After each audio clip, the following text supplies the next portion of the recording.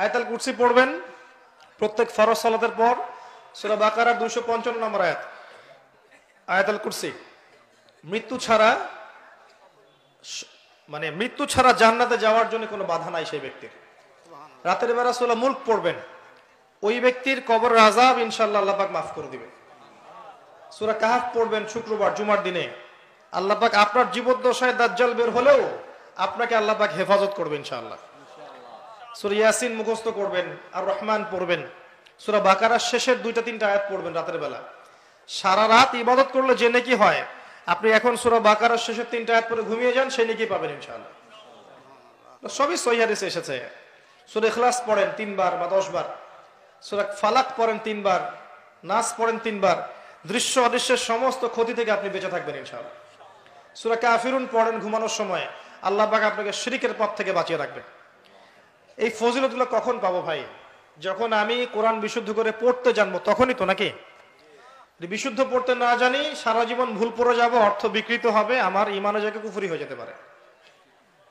ঠিক আছে? কোরআনে এমন অনেক জায়গা আছে যেখানে মাখরাজের কারণে, অক্ষরের উনিশ বিশের কারণে এমন অর্থ পরিবর্তন হতে পারে যে ইমান এবং কুফুরির প্রশ্ন চলে আসতে পারে।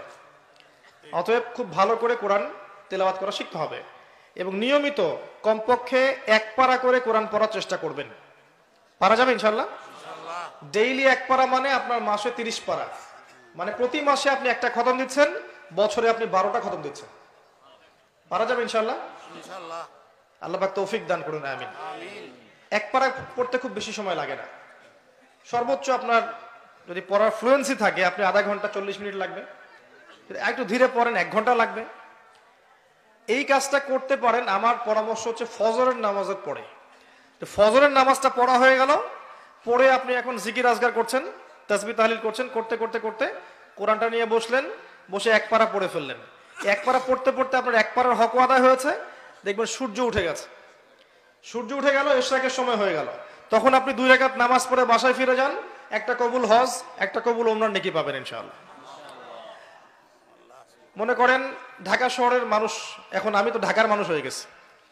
জ্যাম, জ্যামটা একটা কমন জিনিস না? জ্যামে বসে আছে আধা ঘণ্টা, এক ঘণ্টা বসে আছে। এই যে ফোন আছে, আপনি ফোনে অ্যাপস আছে না? অ্যাপস বের করেন, দশটা পৃষ্ঠা পড়ে ফেলতে পারবেন। পারবেন না? সময়টা কাজে লাগল। সময় কাজে লাগাতে হবে। টাইম ভাগ করে করে স্মার্ট হতে হবে টাইমটা কাজে লাগাতে হবে। মনে করেন আপনি শীতের বেলা ব্যাডমিন্টন খেলছেন, কথার কথা। খেলেন তো নাকি? বা ফুটবল খেলছেন বা যুবকরা অনেক সময় অনেক খেলাধুলা করে। ওই সময়টুকুর মধ্যেও কিন্তু আপনি সুবহানাল্লাহ পড়তেই থাকতে পারেন মনে মনে, পারেন না? আলহামদুলিল্লাহ পড়তে থাকতে পারেন, আল্লাহ আকবার পড়তে থাকতে পারেন। মানে আপনি একটা কাজ করছেন, আরেকটা কাজ করতেছেন মনে মনে। এটাকে বলে যে প্রোডাক্টিভ মুসলিম মানে আপনি আপনার সময়টাকে মূল্যায়ন করছেন। একই একই সাথে কয়েকটা কাজ করতে শিখতে হবে। একই সাথে কয়েকটা কাজ। আপনি হাঁটছেন বাইক চালাচ্ছেন, বাইক চালাতে চালাতে আপনি পড়ছেন পারা যায় না? ড্রাইভ করছেন, সুবহানাল্লাহ, আলহামদুলিল্লাহ পড়া যায় না? একটা কাজ করতে গিয়ে আরও অনেকগুলো কাজ করা যায়। এই যে জিকিরের মধ্যে সব সময় আছেন সব সময় জিকিরের মধ্যে যারা থাকবে, এদের যে কি ফজিলত আছে পরকালে, এটা বোঝানোর মতো ভাষা নাই আমার কাছে। এরা আল্লাহওয়ালা হয়ে যাবে এবং এদের মুখ থেকে দেখবেন মৌতের সময় দেখবেন মুখ থেকে লা ইলাহা ইল্লাল্লাহ কালিমা ঠিকই বের হয়ে গেছে ইনশাআল্লাহ। তো একজন সাহাবী এসে জিজ্ঞাসা করেছিলেন, আমাকে একটা আমল বলে দেন ইয়া রাসূলুল্লাহ। আমি একটা আমল ধরে রাখব। তিনি বললেন, তোমার জিহবাকে সবসময় আল্লাহর জিকিরে সিক্ত করে রাখো।